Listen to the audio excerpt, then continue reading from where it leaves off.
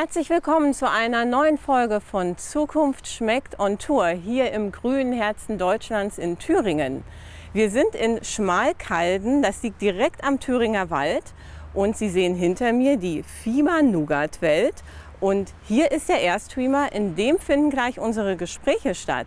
Aber bevor wir in den Talk gehen, wollen wir uns gemeinsam ein paar Impressionen anschauen von der Nougat-Produktion und der Viva Erlebniswelt. Viel Spaß! Thank you.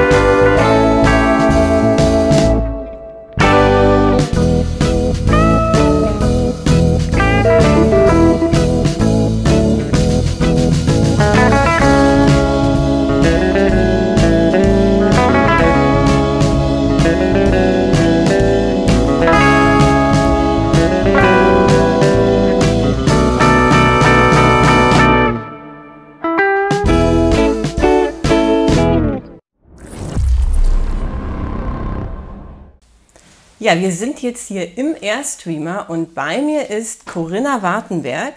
Sie ist die Geschäftsführerin von Fieber Suite seit zwei Jahren, aber war eigentlich schon sehr, sehr lange bei dem Unternehmen, zwischendurch mal woanders. Fieber 130 Jahre lang gibt es dieses Unternehmen schon, also eine richtige Traditionsmarke hier im Osten von Deutschland. Und bei Ihnen wird Nachhaltigkeit ganz, ganz groß geschrieben. Da fallen mir jetzt direkt nachhaltiger Kakaoanbau ein oder auch das Thema Palmöl.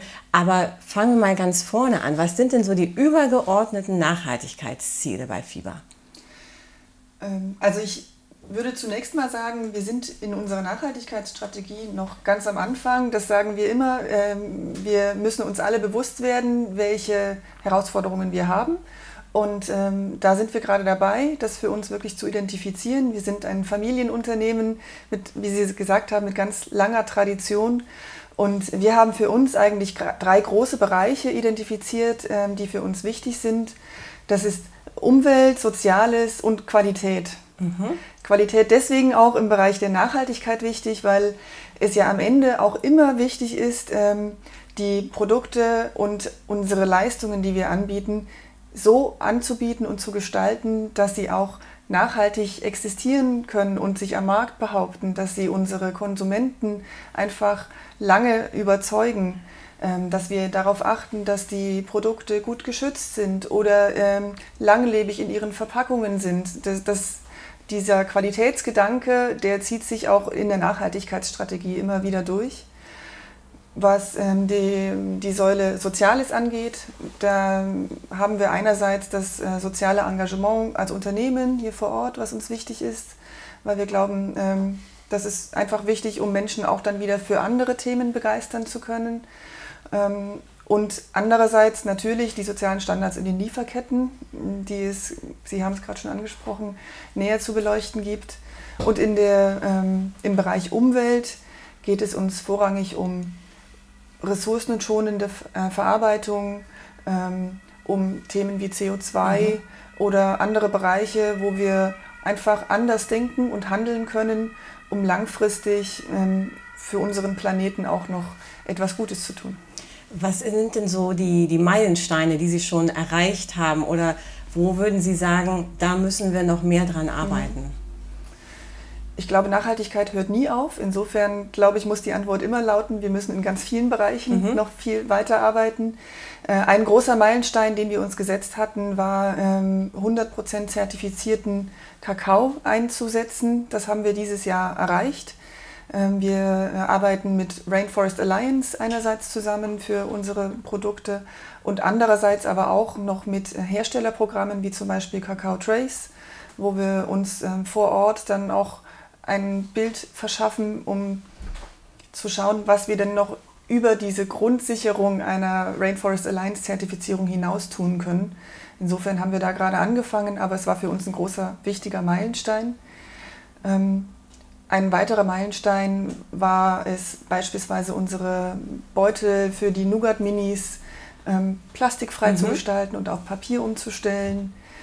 Ähm, und andere Meilensteine haben wir uns im, im, sozialen Bereich gesetzt. Da haben wir mittlerweile fixe Partner gefunden, äh, die wir mit unseren Produkten und Leistungen ganz kontinuierlich unterstützen, um da auch wirklich eine Wirkung zu erzielen. Wenn ich jetzt zum Kakao zurückgehe, Sie haben ja gesagt, 100% zertifiziert, also mhm. der gesamte Kakao in der Schokoladenproduktion. Wie kann man das denn eigentlich überprüfen, diese Zertifikate, dass das wirklich stimmt? Das ist eine, eine gute Frage und auch äh, eine der großen Herausforderungen, gerade im Kakaobereich. Wir arbeiten mit Mars Balance. Das muss man sich ja so vorstellen, wie, wie Ökostrom einzukaufen. Mhm. Das heißt, äh, der, der Strom, der aus der Steckdose dann wirklich kommt, ist nicht unbedingt zurückverfolgbar bis zu dem mhm. Windrad oder dem Solarpanel. Ähm, aber ähm, wir erhöhen zumindest den Anteil an zertifizierten Kakao in der Gesamtmenge des, des Kakaos, der, der eingesetzt wird. Und da liegt für, aus unserer Sicht tatsächlich der Punkt, ähm, Ziel sollte es sein, insgesamt den Standard einfach anzuheben in äh, Lieferketten wie Kakao. Und gemeinsam, und da zähle ich nicht nur ähm, die Kakaoerzeuger oder die verarbeitende Industrie dazu, sondern dazu gehören auch Verbraucher, Handel, eigentlich wir alle zusammen, Regierungen mhm. vermutlich mhm. auch, die, die, Standards anzuheben und es äh, ja, und die, die gesamte Lieferkette oder die Bedingungen für die Kakaofarmer auf ein höheres Level zu heben. Ein ähm, Rohstoff, der ja auch immer in der Kritik ist, ist ja mhm. Palmöl. Palmöl haben sie ja zum Beispiel in, in Nougat-Cremes, damit die so schön cremig sind. Also ist ja eigentlich, es ist ja eigentlich ein ganz toller Rohstoff dann, aber mhm. trotzdem hat er ein negatives Image. Was ist das Problem bei Palmöl, so dass Sie zum Beispiel gesagt haben, unsere Nougat-Creme wird jetzt palmölfrei? Palmöl steht deshalb in der Kritik, weil es zu massenhaft ähm, verwendet und äh, demzufolge auch angebaut wurde. Das heißt, ähm, in äh, Regenwaldgebieten wurden, wurde Regenwaldfläche abgeholzt, um Palmöl, also oder Ölpalmen in großem Stil anzupflanzen mhm. und ähm, dadurch dann Palmöl zu gewinnen. Ähm, hier, auch hier ist es wieder eine Frage der Masse und ähm, deswegen sagen auch wir, ja, Palmöl ist ein, ein Rohstoff oder eine Zutat, die in ganz vielen Lebensmitteln ihre Berechtigung hat, weil es ähm, auch ein im Vergleich zu Raps oder Sonnenblumenöl weniger flächenintensives äh, Öl ist in der, in der, im Anbau. Aber dort, wo man Palmöl nicht braucht und demzufolge vielleicht ein bisschen weniger Regenwald ähm, dafür verwenden sollte, da sollte man es ersetzen. Und genau das ist der Grund, weshalb wir ähm, ja fast fünf Jahre lang daran gearbeitet haben, in unsere Nougat-Creme Palmöl zu ersetzen, weil es uns wichtig war. Wir haben gesagt, es, es muss möglich sein und es muss aber möglich sein, ohne geschmackliche Einbußen zu haben. Und mittlerweile ersetzen wir Palmöl durch Kakaobutter und Rapsöl mhm. und sind sehr zufrieden mit dem Ergebnis und kriegen da auch sehr gutes Echo von unseren Kunden. Macht es das Produkt dann nicht vielleicht auch teurer, wenn zwei andere Rohstoffe dann drin sind? Das ist so, ja. Ähm, in den allermeisten Fällen wird der mhm. Ersatz von Palmöl in einem teureren Produkt münden. Ähm, und auch die Verarbeitung ist komplexer, denn gerade Kakaobutter kristallisiert nun mal anders als Palmöl. Das heißt, äh, wir mussten auch hier investieren in unseren mhm. Verarbeitungsprozess. Wir mussten äh, einige Dinge anpassen, um die gleiche Cremigkeit wieder ähm, zu erzeugen, wie wir sie von unserer vorherigen Nougat-Creme kannten.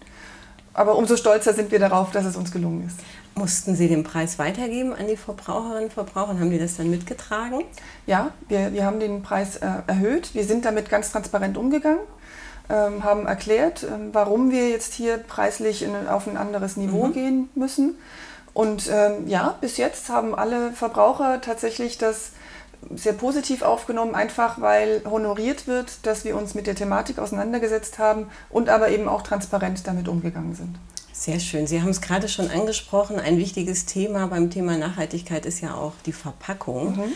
Ähm, wie, wie schaffen Sie das, dass Sie nachhaltige Verpackungen haben? Beziehungsweise äh, haben Sie auch schon mal darüber nachgedacht, äh, vielleicht anderes als Kunststoff zu verwenden? Geht das überhaupt bei äh, Schokolade? Das ist auch eine sehr spannende Frage, mit der sich einige Kollegen bei uns im Unternehmen beschäftigen. Wir haben es ähm, uns zum Ziel gesetzt, Plastik- oder Kunststoffverpackungen dort, wo es möglich und sinnvoll ist, ähm, zu ersetzen. Beispiel eben die Umverpackung für unsere Nougat Minis. Die hatte vorher ein Sichtfenster aus Kunststoff, das mhm. haben wir ersetzt und, ähm, und auch den, die Abzugslänge der Beutel ein, ein bisschen verkürzt, sodass Material eingespart werden kann. In anderen Bereichen, wie beispielsweise die, die Primärverpackung für Nougat und Schokolade, haben wir bis jetzt noch kein adäquates ähm, Alternativmaterial gefunden für unsere PET-Folien oder unsere aluminiumbedampften Folien. Denn äh, auch das gehört ja zur Nachhaltigkeit dazu. Die, das Produkt soll geschützt und lange haltbar sein. Äh, wir wollen alle keine Lebensmittelverschwendung auf diesem Planeten und daher ist zunächst einmal der Produktschutz natürlich sehr wichtig. Wir sind aber dabei, verschiedene Materialien auszuprobieren. Ähm, als ersten Ziel Schritt haben wir uns gesetzt, dass alle Materialien eine sehr hohe Re Recyclingfähigkeit aufweisen mhm. sollen. Recycling ist äh, eine wichtige Lösung. Die Kreislaufwirtschaft kann hier wirklich sehr viel beitragen ähm, zu, äh, zu weniger Müll. Mhm. Ähm, und der, der zweite Schritt, den wir eben nebenher immer wieder testen, auch auf unseren Maschinen, sind eben Alternativmaterialien wie Papier, Folien oder ähm, auch kompostierbare Materialien bis jetzt hat uns noch keines so richtig überzeugen können, aber wir bleiben dran. Es ist wahrscheinlich bei manchen Materialien auch so, dass sie auch Geschmack abgeben können dann in die Schokolade. Das will man richtig, ja dann auch nicht richtig. haben. Sie haben ja auch Gastronomie, da arbeiten Sie auch mit äh, Recap zusammen, also ja. mit einem Pfandsystem. Wie funktioniert das? Wird das gut angenommen? Das wird, ähm, so, so ehrlich muss man sein, in den Städten wird es besser angenommen mhm. als im ländlichen Raum, einfach weil die Infrastruktur zur Rückgabe besser ist. Äh, wir haben beispielsweise eine Filiale in Berlin, wo wir auch äh, mhm. Recap-Becher verwenden. Äh, da sehen wir, dass die Frequenz zum Austausch höher ist. Ähm, wir haben uns aber ganz bewusst dafür entschieden, das wirklich auch an so ländlichen Standorten mit anzubieten, einfach um immer die Alternative zu bieten. Denn mhm. wir glauben, es ist eine Bewusstseinsfrage der Verbraucher. Und wenn wir es aktiv anbieten, dann können wir dazu beitragen, dass das immer normaler wird und sich immer mehr etabliert und sich immer mal durchsetzt. Genau. Mhm. Anderes Thema, Thema Preise. Ich habe Ende Juli bei der Tagesschau folgende Meldung gelesen.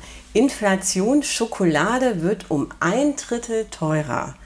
Was ist da passiert? Sind das die Rohstoffe? Ist das die Energie? Und wie gehen Sie als Schokoladenhersteller damit um? Es ist tatsächlich vielschichtig. Ähm, ja, wir haben enorme Kostensteigerungen im Bereich Schokolade oder Nougat äh, verzeichnen müssen seit dem letzten Jahr. Ähm, das letzte Jahr war ohnehin ein sehr hm. turbulentes Jahr ähm, mit ausgefallenen Lieferketten oder äh, Preissprüngen, die wir so bei vielen Materialien noch nie gesehen haben. Ähm, wenn ich es auf die verschiedenen Bereiche herunterbreche, dann sind es einerseits die Rohstoffe. Kakao aktuell mhm. zum Beispiel auf einem 50-Jahres-Hoch. Zucker hat sich verdoppelt innerhalb der letzten 18 Monate. wir haben Außerdem auch im Haselnussbereich zum Beispiel, da verarbeiten wir immer nur die neue Ernte, weil es uns wichtig ist, mhm. dass wir dieses Aroma wirklich immer ganz frisch darstellen können. Ähm, auch hier wird für die Ernte 2023 aktuell ein Preisanstieg prognostiziert, weil die Kerne etwas kleiner sind ja. als sonst. Ähm, es gibt aber auch die anderen Bereiche, wie beispielsweise Energie. Wenn Sie conchieren und äh, auch erhitzen müssen, brauchen Sie natürlich Energie. Und ähm, das äh, ist ein offenes Geheimnis, dass wir da natürlich deutliche Kostensteigerungen hatten. Und auch wenn jetzt die Energiepreise äh, im Vergleich zu diesen absoluten Höhenflügen im letzten Jahr etwas nachgegeben haben, sind wir doch immer noch auf einem deutlich höheren Niveau als 2020 zum Beispiel. Ähm, Logistik, die, mhm. die Mauterhöhung, äh, das ist ein wichtiges Thema. Wir, wir versenden unsere Produkte natürlich mit Kühlspeditionen, damit einfach die Temperaturführung immer gegeben ist. Ähm, nicht zuletzt auch Personal. In einem Unternehmen in unserer Größenordnung Ordnung haben wir noch einen hohen Personalkostenanteil, einfach weil wir viel Handarbeit haben, sei es beim Ausdekorieren von Pralinen oder beim Verpacken mhm. von Produkten. Und ähm, äh, in Zeiten von äh, Fachkräftemangel oder auch stetigen Mindestlohnanpassungen müssen wir natürlich auch im Gesamtunternehmen äh, die Personalkosten entsprechend anpassen und das wirkt sich auf die Kalkulation aus. Müssen Sie das weitergeben an die Verbraucherinnen und Verbraucher? Ja, wir, äh, das können wir leider nicht alles ja. abfedern. Wir versuchen immer, solange es geht, hier ähm, ein gewisses Kissen zu schaffen, um äh, einige Schwankungen am Markt ausgleichen zu können.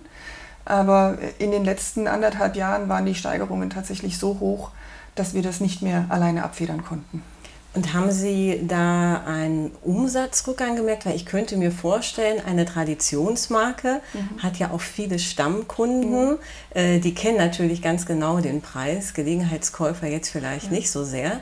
Ähm, wie würde, wurde das dann äh, angenommen? Haben Sie das gemerkt, dass es dann vielleicht weniger gekauft wurde? Wir haben zum Teil eine Verschiebung im Sortiment gemerkt, mhm. äh, das eventuell zu anderen Produktformaten ausgewichen wurde. Ähm, insgesamt aber sind wir sehr froh darüber, dass unsere Kunden recht treu sind. Ähm, unser Geschmacksbild ist ein ganz besonderes und äh, viele der Kunden, das sagen auch unsere Marktstudien, ähm, sagen, wenn sie einmal dieses Geschmacksbild äh, ge gekostet haben und Gefallen daran gefunden haben, dann möchten sie auch nur noch dieses. Und dafür sind wir natürlich sehr dankbar, dass dann unsere Kunden uns auch in solchen Zeiten mitbegleiten. Ich hatte gerade schon die äh, Erlebniswelt angesprochen. Sie haben da ja einen Service-Roboter, den äh, mhm. Bella Bot. Ähm, dieser Service-Roboter, ist er ähm, eine Hilfe? Ersetzt mhm. er das Servicepersonal? Wie, wie wird er hier eingesetzt? Er soll tatsächlich eine Unterstützung für unser Servicepersonal sein. Denn wir, wir haben hier eine, eine große Restaurantfläche, wo wir manchmal bis zu 200 Menschen gleichzeitig bewirten auf äh, zu Lunch- oder Brunch-Veranstaltungen oder zu großen Events. Und ähm, ja, man muss sich vorstellen, wenn dann die Kolleginnen und Kollegen äh, dauernd Teller und, äh, äh, und Gläser abräumen müssen, ähm, dann ist das natürlich eine Belastung. Und daher wird der, der Service-Roboter aktuell sehr stark auch dafür eingesetzt, mhm. um einfach Geschirr zu transportieren und da das Personal zu entlasten, Laufwege auch zu verkürzen, weil man eben nicht den ganzen Weg in die Küche laufen muss. Und er hat aber auch ganz klar einen Erlebnisfaktor, für, gerade für Familien mit Kindern, die sich immer wieder freuen, wenn sie Bella über den Kopf streicheln können und sie dann irgendeinen lustigen Spruch von sich gibt. Das kann ich mir wunderbar vorstellen. Ich hoffe, ich komme gleich auch noch in die Gelegenheit, Bella kennenzulernen. Aber apropos Erlebnis, wir machen jetzt nämlich auch was ganz Tolles. Wir gehen jetzt in den praktischen Teil über.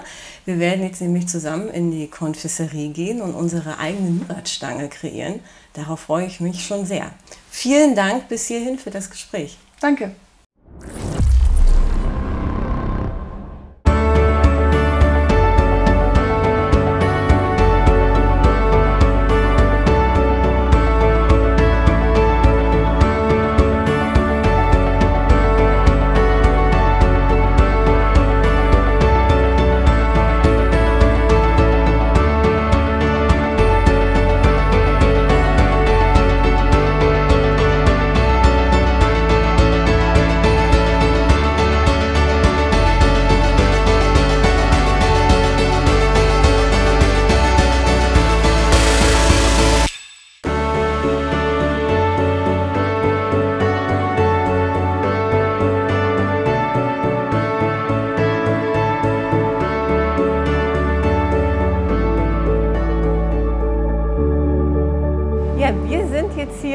Konfiserie von Fieber. Corinna Wartenberg ist mit mir da und wir sind bei Juliane Heising. Sie ist die Chefkonfiseurin bei Fieber und wird uns jetzt erklären, was wir heute Schönes machen dürfen.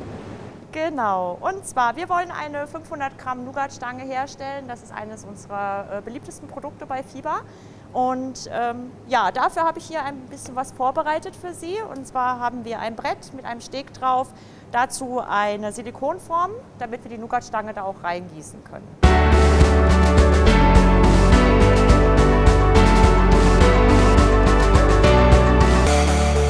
Das ist jetzt unser Classic Nougat. Das ja. ist relativ dunkel in der Farbe. Bevor wir jetzt anfangen, machen wir den Rand wieder zurück. Zudrehen, ja. ganz wichtig, dass es hinten nicht rausläuft. Wir schneiden jetzt ein Loch. Ich mache das immer so, dass ich erstmal hier in die Öffnung reingehe. Und dann wird das Nougat hier reingedrückt. Ah, ich sehe schon, Sie haben mehr Nougat in der Tüte als Ich habe ein bisschen mehr drin, aber vielleicht wollen Sie ja auch noch mal was naschen. Deswegen habe ich mir gedacht, können Sie ja noch mal ein bisschen was extra haben. oder? Sehr gerne. Nougat besteht eigentlich zu ähnlichen Teilen äh, wie aus Schokolade. Milchpulver, Haselnüsse, Kakaobutter, Kakaomasse und natürlich dann noch die Bourbon Vanille, um das Ganze im Geschmack abzurunden. Ich schalte jetzt hier einmal drunter. So, und dann können Sie einmal loslegen. Also erstmal drehen. So, jetzt abschneiden. Genau, können Sie auch gerade abschneiden. Jetzt rein. so rein. Genau. Okay. Frau Wartenberg, wie klappt es bei Ihnen? Ganz gut. Ich glaube, Gut. das Geheimnis ist immer hinten zu drücken. Also, wie man gut sehen kann, ist das bei mir nicht so schön wie bei Juliane. Ja, ich bewundere auch jedes Jahr wieder oder jedes Mal wieder meine Kolleginnen, mit wie viel Ruhe und Eleganz sie das hier machen. Reicht das oder habe ich zu wenig drin? Ein kleines bisschen können Sie noch reinmachen, es sei denn, Sie haben jetzt Prioritäten und einen großen Hunger. Auf Naschen. Und dann das Rütteln natürlich nicht vergessen.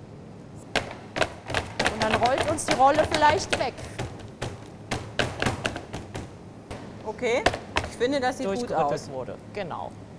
Also Gut. das Rütteln, das ist auch in der industriellen Fertigung wichtig, um die Luftblasen aus der Ja. Schokolade oder aus dem Nougat rauszukriegen. Okay. Genau. Und jetzt muss das Ganze natürlich in den Kühlschrank, damit das auch fest wird. Dann kann sich jeder ein Brett wegnehmen. Ich gehe Ja. wieder auf diese Seite. Okay. Wenn Sie hier, sind ja diese Spalte drin, Ja. die macht man einmal auseinander und so kann man die Nougatstangen ganz einfach rauslösen. okay. Und dann setzen wir die auf das Brett. Dann wären sie schon bereit zum Beschriften. Genau. Dann würde ich schon mal. Genau. Das ist jetzt unsere weiße Schokolade. Ich mache uns dieses Wärmebad einmal an. Ja, aber die ist ja schon flüssig. Warum müssen Sie das Wärmebad noch anmachen? Das Wärmebad ist jetzt dafür da, damit ich die Temperatur von 28 Grad halten kann. Also dass das jetzt nicht komplett aushärtet, weil sonst haben wir hier nichts mehr drin, womit man noch verzieren kann. Okay. Und zwar, Sie bekommen gleich von mir eine kleine Garniertüte. Die sieht so aus, die drehen wir auch selber. Ja. Ja? Ich mache die Schokolade hier rein. Nicht zu voll. Ganz viele fragen immer, kann ich noch ein bisschen mehr? Wenn das zu voll ist, werden wir das hinten, äh, hinten rausdrücken. Deswegen lieber erst ein bisschen weniger nehmen, dann passt das ganz gut. Und zwar, ich lege die Tüte einmal immer so hin, dass die Spitze von mir weg zeigt. Und jetzt ein paar Mal nach vorne einschlagen. Das ist ein bisschen wie die fast leere Zahnpastatube, ja, damit man die Masse nach vorne drücken kann, hinten schön zudrehen. Und damit das zubleibt, kleiner Tipp, bitte beim Schreiben jetzt nicht wie einen Stift nehmen, Ja. sondern diese eingedrehte Lasche auf den Daumen. Und mit den beiden Fingern kann man zuhalten und gleichzeitig drücken. Okay. Können Sie sich noch daran erinnern? Ja, ich muss es jetzt erstmal so äh, zuklappen, wie die Zahnpastatube. Genau. Reicht das so? Das sollte so funktionieren, Okay. genau. Dann ein kleines Loch schneiden. Ja. Je kleiner das Loch natürlich jetzt auch ist, umso feiner wird die Linie werden. Das ist gerade bei uns dann auch drüben in der Konfiserie Ja. sehr relevant, wenn wir Pralinen beschriften. Also wenn man zu weit oben ansetzt, ist das Loch zu dick und dann äh, wird man keinen Namen mehr auf die Praline schreiben können, weil der Platz Okay. natürlich dann noch ein bisschen weniger ist als hier. So, ich mache den Hashtag davor für alle, die Social Media affin sind. Wie was mit dem Atmen zwischendurch? So. Ist so eine Sache. So, jetzt müssen wir das aber noch äh, tauschen, damit man das umlesen kann. Sehr gut. So. So schlecht sieht das doch gar nicht aus. Vielen Dank für die kleine Einführung in die Welt der Konfiserie und Sehr diesen gerne. Workshop. Es hat sehr viel Spaß gemacht. Das freut Danke mich. an Juliane Heising. Und Sehr gerne. äh, wir gehen jetzt wieder zurück in den Airstreamer. Vielen Dank, Frau Wartenberg. Sehr gerne, danke. Ähm, wir gucken jetzt mal, was unsere anderen Gesprächsgäste zu sagen haben.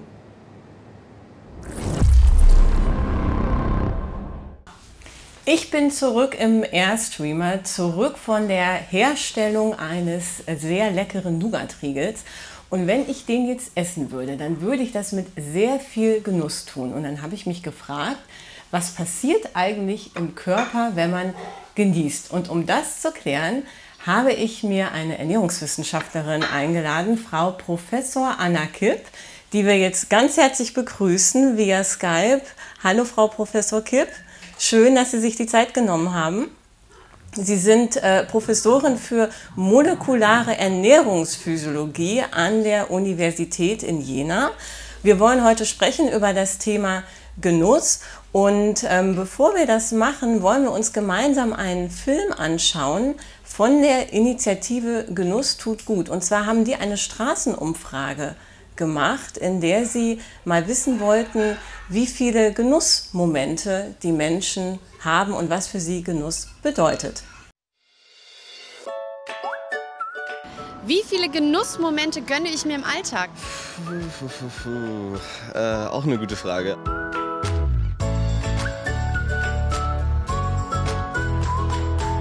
Ich muss sagen, ziemlich viele, weil ich glaube, das zählt auch einfach. Jeden Tag immer so ein, so ein bisschen. Es sind, sind nie dieselben. Ähm, ich habe mir jetzt den Zettel rausgesucht.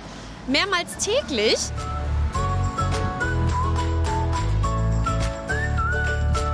Finde, es ist auch ganz wichtig, dass man sich solche Momente einfach auch gönnt, weil äh, es ist sowieso schon stressig genug im Alltag und dann muss man auch einfach mal genießen können. Nie wirklich übermäßig viele, aber ähm, wenn man am Ende des Tages dann halt sagt, so ja, ich habe so drei, vier Genussmomente den Tag über gehabt, dann ist das ein schöner Tag gewesen. An guten Tagen hat man dann vielleicht ein paar mehr. So pro Tag bestimmt einmal. Einmal am Tag sollte man auf jeden Fall schon irgendwas Leckeres zu essen haben, was man richtig genießen kann. Ob es jetzt äh, essenstechnisch ist oder eben auch einfach so sich Zeit nehmen für die Dinge, die man gerne macht.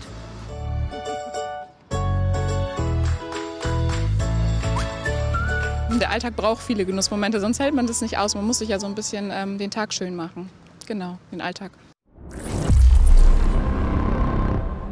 Ja, liebe Frau Kipp, im Film wurde jetzt sehr viel über Genussmomente gesprochen. Das muss ja nicht immer etwas mit Essen zu tun haben, aber in vielen Fällen hat es eben schon was mit Essen zu tun. Das heißt, achtsames Essen und nicht so schnell, schnell nebenbei. Was passiert denn eigentlich in unserem Körper, wenn wir genießen? Ja, also ganz interessant, dass ähm, doch die meisten in dieser Umfrage Genießen mit Essen verbunden haben und das macht auch ein Stück weit völlig Sinn, weil Essen ist ein ganz wichtiger Bestandteil unseres Alltags und ähm, ja, wenn wir diese Momente schön gestalten, dann gibt es ein ganz großes Potenzial, um wirklich einen ähm, schönen, entspannten Moment im Alltag zu genießen. Ähm, ja, was passiert beim Genuss? Ähm, letztendlich ist es ein super komplexer Prozess, den man ähm, schwierig auf, auf, einzelne Komponenten runterbrechen kann. Es geht darum, ähm, der Situation die volle Aufmerksamkeit zu geben, ähm, sich einzulassen auf den sensorischen Reiz. Ne? Also wirklich das ähm, zu schmecken, wenn wir jetzt beim Essen bleiben oder ähm, die Situation wahrzunehmen, ähm, so wie sie ist, wie sie sich anfühlt. Ähm, ja, und ähm, wenn man dem Raum gibt, dann ähm, ist das, glaube ich, etwas, was, was einen wirklich im Alltag sehr bereichern kann. es gibt ganz viele Facetten, habe ich gerade eben schon gesagt. Ähm, ich denke, ein wichtiger Aspekt, auf den wir wahrscheinlich gleich auch noch mal genauer zu sprechen kommen werden, ist, ähm, dass Genuss eben auch was damit zu tun hat, dass ähm, etwas nicht permanent zur Verfügung steht, sondern eben in einem bestimmten Moment, dem wir dann auch, äh, und in diesem Moment geben wir dem dann auch eben Raum. Das heißt, gleichzeitig gehört zum Genuss eben auch ein Stück weit der Verzicht, also eben ja, nicht permanent zu essen, sondern ähm, dann zu essen ähm, im Rahmen einer Mahlzeit, wenn wir dem auch irgendwie Aufmerksamkeit ähm, schenken können. Und dann gehören, gehört eben auch sowas wie Vorfreude dazu. Ähm, das stärkt dann letztlich eben auch den Genussmoment. Also man könnte sagen, es ist ein bisschen mehr eine Frage der, der Qualität ähm, als der Quantität. Ähm, also ja, diese Balance zu schaffen im Prinzip zwischen ähm, den Genussmoment haben und ihn dann auch nicht haben, um sich wieder auf den nächsten zu freuen. Vorfreude war jetzt gerade so ein bisschen das Stichwort. Wie wichtig ist denn Genießen auch für die psychische Gesundheit? Ja, das ist ganz sicher ein, ein wichtiger Aspekt. Ähm, denn Essen, wenn wir jetzt beim Essen mal bleiben, das ist ja das Thema, mit dem ich mich beschäftige, für das ich Expertin bin, ähm, ist natürlich nicht nur Nährstoffaufnahme, sondern viel, viel mehr.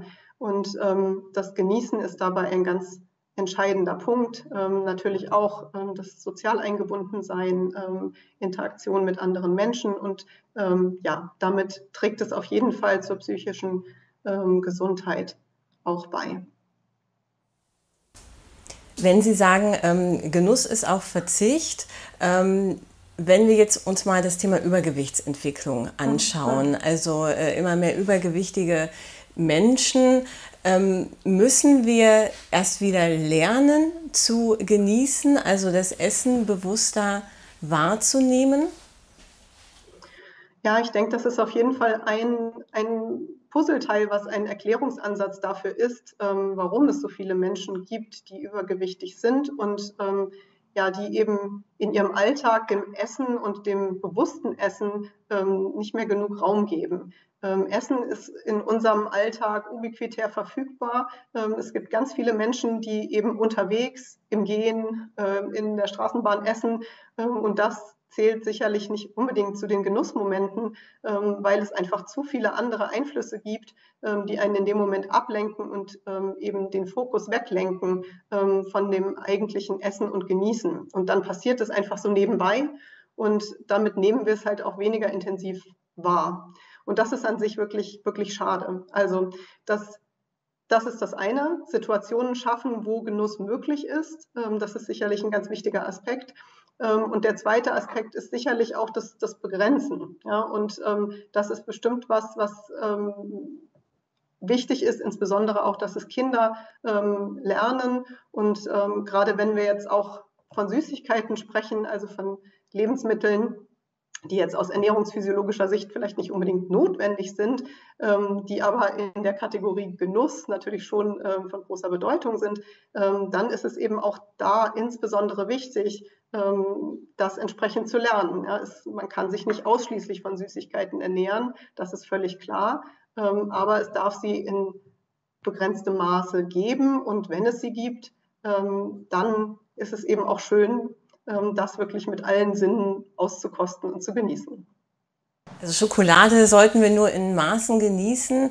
Jetzt kann ich aus eigener Erfahrung berichten, es gibt durchaus ja auch äh, Eltern, die dann sagen, mein Kind bekommt keine Süßigkeiten. Ich weiß aber auch, solche Verbote, die geben ja dann extra nochmal einen Anreiz. Also was machen solche Verbote mit uns, wenn wir wissen, das dürfen wir jetzt nicht? Ist das wirklich sinnvoll?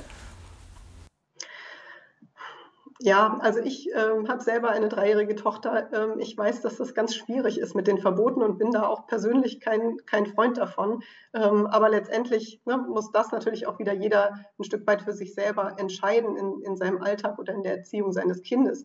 Wenn wir jetzt aber über ähm, ja eine gesellschaftliche Thematik reden, also darum, wie kann man ähm, der Situation einer erhöhten Zahl an übergewichtigen Menschen begegnen und kann man ähm, auf einer übergeordneten Ebene ähm, ja, Maßnahmen ergreifen, sage ich jetzt erstmal neutral, ähm, dann sind Verbote sicherlich eine Möglichkeit und ähm, ja, aus meiner Sicht aber ungeeignet, wenn es eben die einzigen ähm, Maßnahmen sind, die ergriffen werden.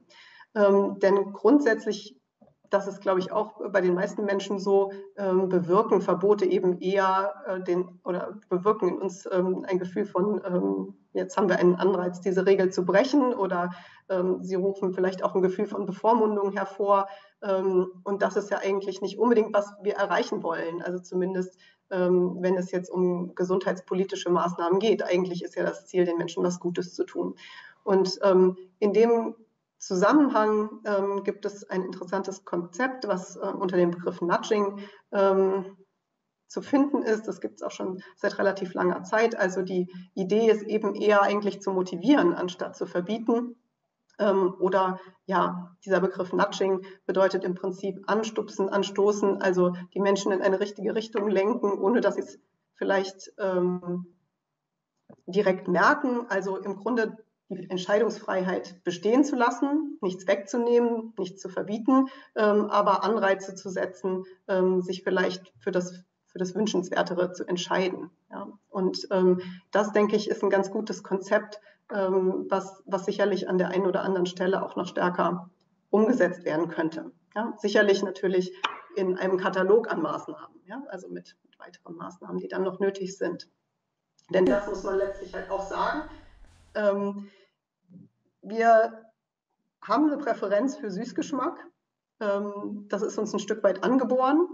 Ähm, und selbst wenn man ähm, ja, sich ganz aktiv dagegen entscheiden will, fällt es im Einzelfall dann vielleicht doch auch schwer. Und das zeigen ja letztendlich auch die, die Zahlen an übergewichtigen Menschen in Deutschland und auch weltweit. Es ist nicht so einfach zu sagen, ich esse das jetzt nicht mehr. Ja.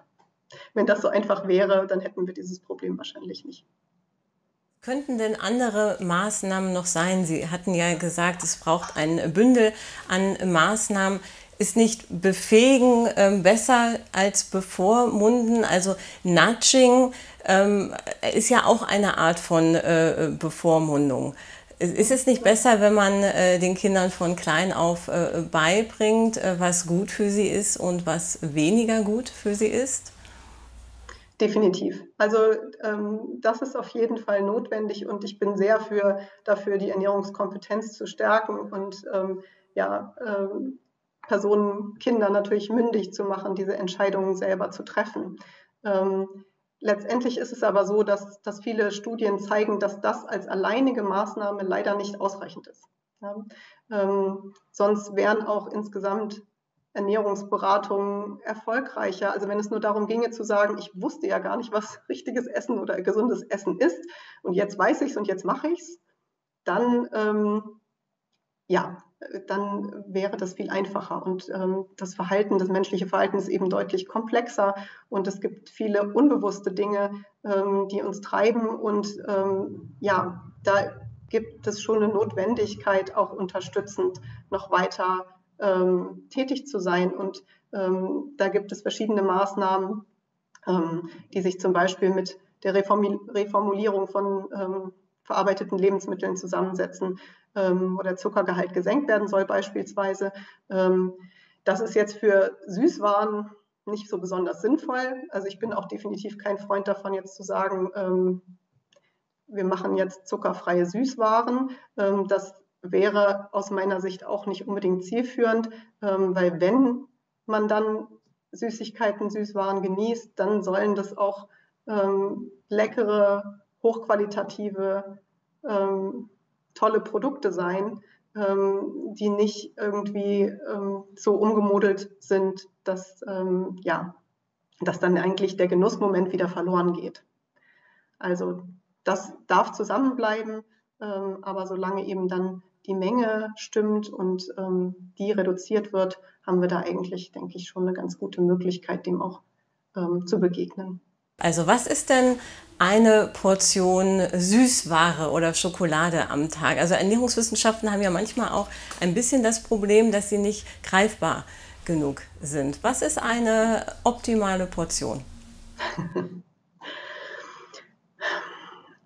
Das ja, aus ernährungsphysiologischer Sicht gibt es im Grunde keine optimale Portion. Ja, also, weil sinnvoller ist es natürlich schon, ähm, seine, seinen Zucker oder seinen Kohlenhydratzufuhr aus möglichst unverarbeiteten Lebensmitteln, also eher Obst und Gemüse zu sich zu nehmen, ähm, die entsprechend eben ähm, dann auch noch weitere Inhaltsstoffe haben, wie Vitamine und Spurenelemente, ähm, die, die den Körper unterstützen. Ja, also insofern ähm, gibt es hier keine Zufuhrempfehlung, ähm, sondern eher eben die Regel zu sagen, ähm, versuch nicht mehr als ja, die und die Menge ähm, zu essen. Und da bin ich auch kein Freund davon, klare Grenzen zu benennen, weil wie sollen die sein? Also ähm, letztendlich hängt es eben dann auch mit der Gesamternährung zusammen. Also ähm, das, was maßgeblicher Treiber für Übergewicht ist, ist eine hyperkalorische Ernährung, also insgesamt einfach zu viel Energiezufuhr.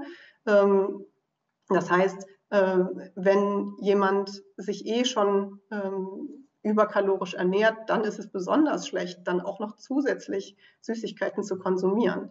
Jemand, der sich insgesamt sehr ausgewogen ernährt und weniger Kalorien zu sich nimmt, der sich vielleicht auch sehr viel bewegt, für den sollte es überhaupt kein Problem darstellen, wenn er am Tag, ähm, keine Ahnung, zwei Stücke Schokolade isst ja, oder ähm, entsprechend andere Süß Süßwaren. Ja, also insofern ähm, ist da eben eine explizite Menge auch wieder missverständlich, weil man es eben im Gesamtkontext dann anschauen muss. Frage zum Abschluss. Was ist denn Ihr persönlicher Genussmoment? Also ich liebe Schokolade. Also ich wäre sehr gerne heute bei Fieber gewesen und hätte mich selber Nougat gefreut.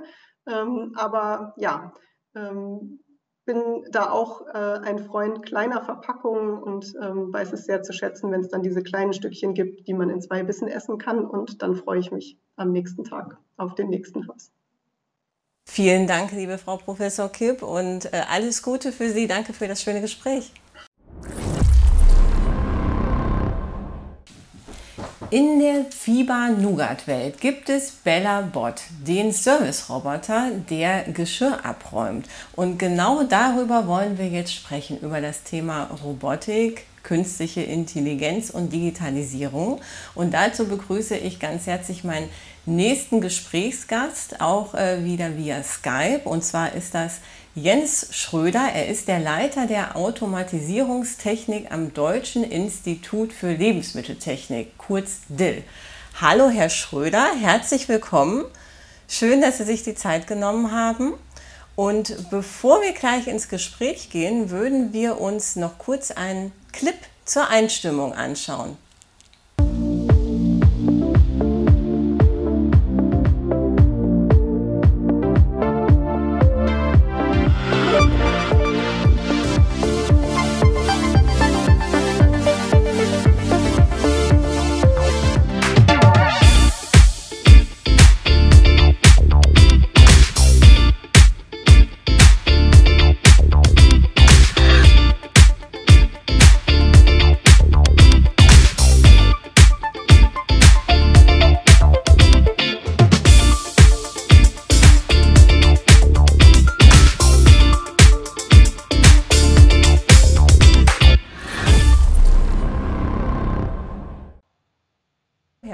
Schröder, wie oft wurde Ihr Kaffee denn schon von einem Service-Roboter zubereitet oder Ihnen serviert?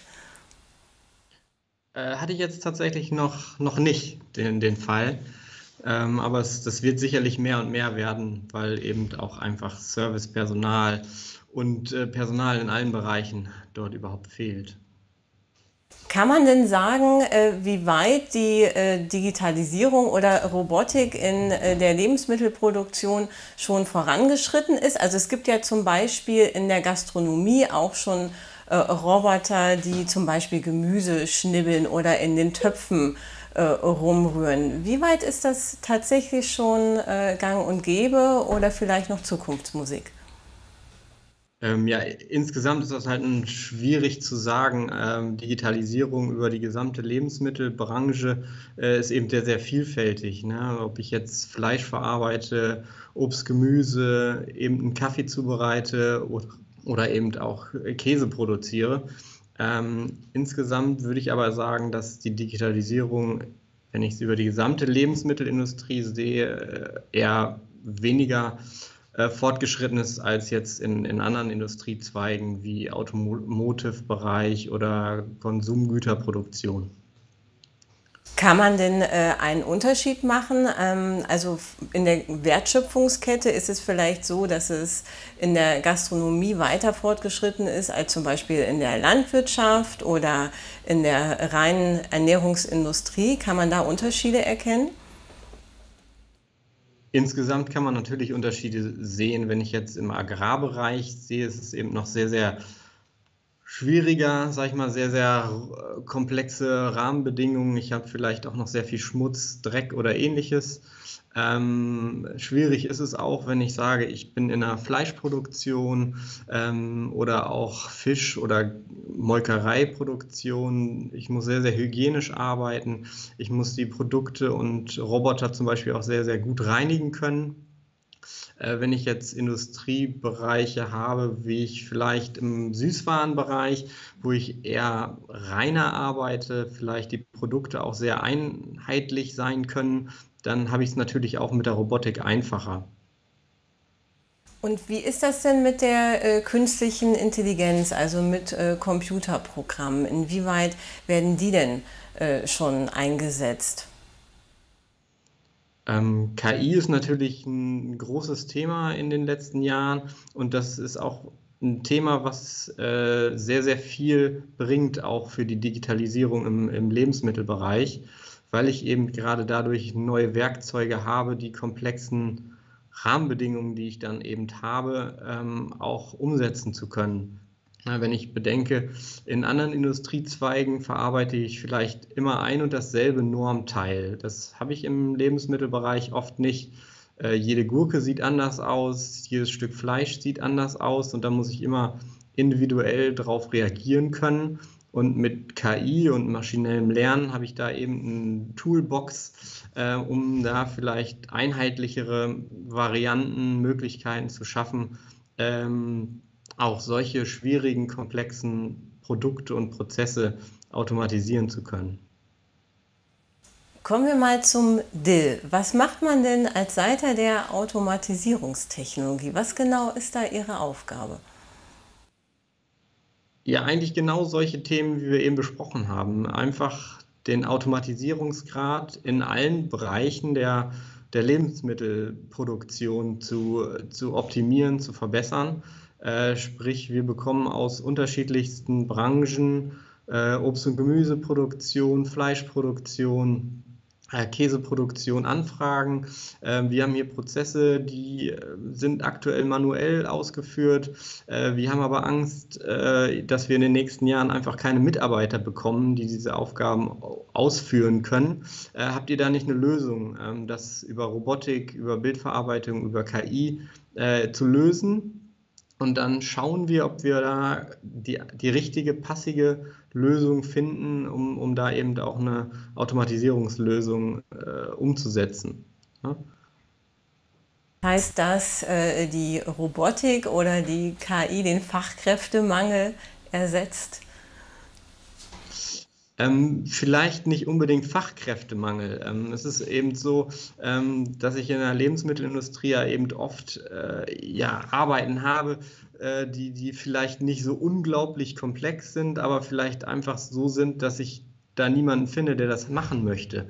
Ne? Schwere Lasten tragen, eintönige, monotone Arbeiten ausführen, ähm, in Kälte arbeiten, bei Hitze arbeiten, ähm, vielleicht auch äh, ja, gefährliche Arbeiten ausführen.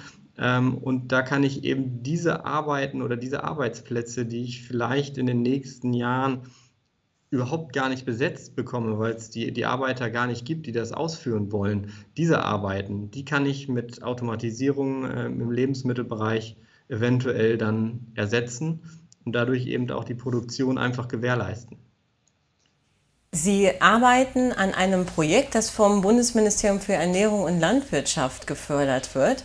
Und da muss ich jetzt kurz in meine Notizen schauen, damit ich den Titel richtig sage. Mobile visuelle Qualitätserkennung durch künstliche Intelligenz für die Ernährungsindustrie. Können Sie in einfacheren Worten uns erklären, was es damit auf sich hat? Ähm, gerne. Also insgesamt äh, denken wir über KI und KI in Verbindung mit Bildverarbeitung können wir eben Systeme schaffen, ähm, die in der Lebensmittelindustrie die Prozesse vereinfachen, optimieren, automatisieren können, ähm, um eben ähm, da über so eine Art Aufbau ähm, etwas zu schaffen, was einheitlich für die gesamte Lebensmittelindustrie gilt. Weil insgesamt ist es so, ob ich jetzt Obst und Gemüse produziere, Fleisch produziere, Käse produziere oder auch Süßwaren produziere, ich will am Ende des Tages nur sichere, gute Produkte im Supermarkt haben und ich muss am Ende eine Qualitätskontrolle haben. Und ähm, durch Mechanismen des, der künstlichen Intelligenz, des maschinellen Lernens, kann ich ein einheitliches System schaffen, was eben für alle Branchen der Lebensmittelindustrie einsetzbar ist und äh, ich dann nicht immer eine Insellösung neu entwickeln muss, ob ich jetzt, äh, jetzt Fleisch habe oder eine Kartoffel bewerten möchte, ähm, muss ich dann eben nicht alles neu entwi entwickeln, das Rad neu erfinden, sondern kann ein und dieselbe Maschine benutzen, äh, das dann kombinieren mit Robotik und dann zum Beispiel Sortierprozesse äh, automatisiert durchführen. Wie, wie, wird das denn im Moment geregelt? Also in meiner Vorstellung ist es so, dass in der Lebensmittelproduktion da durchaus noch äh, reale Menschen am Band stehen, äh, die sich das anschauen und dann äh, eben die Lebensmittel aussortieren, die nicht verarbeitet werden können oder die die Qualitätsproben ziehen. Ist das äh, gar nicht mehr so? Also wird da schon viel mit Maschinen gearbeitet? Auch das ist sehr, sehr unterschiedlich. Also es gibt Branchen, äh, wo sehr, sehr viel automatisiert auch ist. Ähm, viel läuft eben über automatische Systeme, Kamerasysteme, die dann Ausschleusungen vornehmen. In vielen Bereichen sind aber tatsächlich noch sehr, sehr viele Menschen am Band, die den ganzen Tag eben auf die, die Produkte schauen, natürlich auch mit jahrelanger Erfahrung dann bewerten können, ähm, da ist ein Makel, das kann jetzt so nicht in den Einzelhandel lang. Ähm, das muss aussortiert werden und das dann gegebenenfalls auch händisch ähm, vom Band nehmen und, und äh, aussortieren. Ähm, also das ist sehr, sehr, sehr unterschiedlich.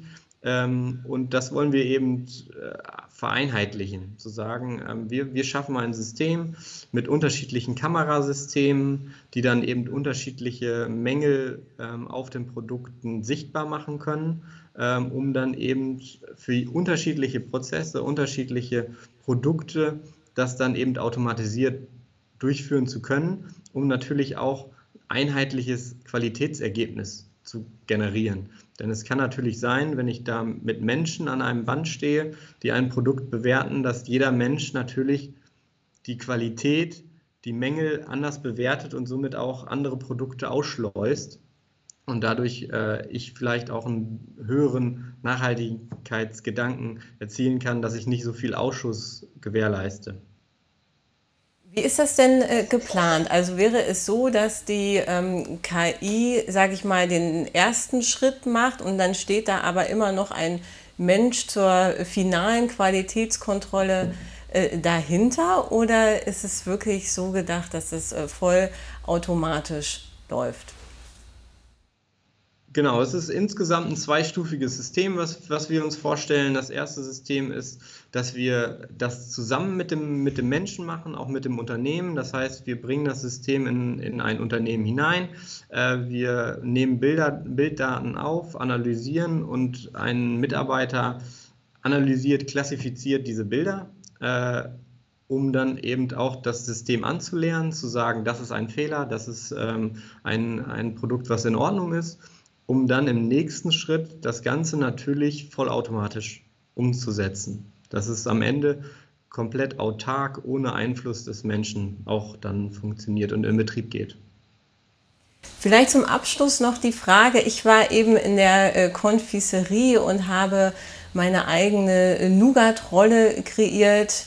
Wenn Sie jetzt mal so 20 Jahre weiterdenken, könnte ich das dann immer noch machen oder würden dann da oben die Roboter stehen und kreieren die Nougat-Rolle? Was meinen Sie? Also es wird ein Mix aus, aus allem sein. Es, es wird viel, viel mehr automatisiert sein, weil ich einfach viel mehr Werkzeuge habe, um die Automatisierung voranzutreiben. Es wird auch viel ähm, ja, individuelle Gestaltung sein, aber dann Gestaltung durch den Menschen, Umsetzung vielleicht durch die Maschine. Ähm, es werden aber auch immer, immer noch Prozesse dabei sein, die weiterhin, äh, weil sie sehr individuell sind, vom Menschen ausgeführt werden. Lieber Herr Schröder, ganz herzlichen Dank für dieses sehr aufschlussreiche äh, Gespräch. Ich glaube, da werden wir noch äh, viel ähm, erwarten können in dem Bereich und ähm, viel Spaß noch bei dem Projekt ähm, und viele Erkenntnisse wünsche ich Ihnen. Vielen Dank. Vielen Dank auch. Ja, und das war's mit Zukunft schmeckt on Tour in Schmalkalden bei Viva Suites und unser Airstreamer, der wird direkt weiterfahren, nämlich nach Magdeburg zu unserer letzten Station und dort geht es dann um das Thema regional nachhaltig gesund, die deutsche Brotkultur, also auf jeden Fall wieder reinschauen. Tschüss.